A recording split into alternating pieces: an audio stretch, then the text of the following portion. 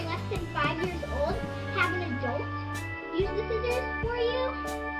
But otherwise, if you're over five years old, then you can use the scissors, but just be really, really careful. You can have an adult do it, do it, do it.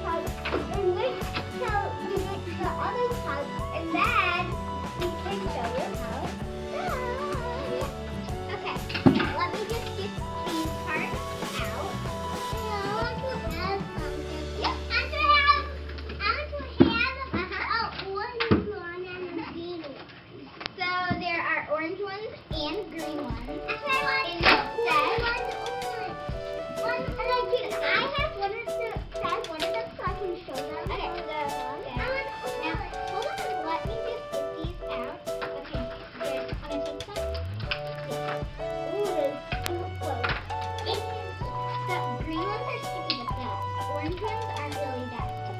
Good. Yeah, good. Super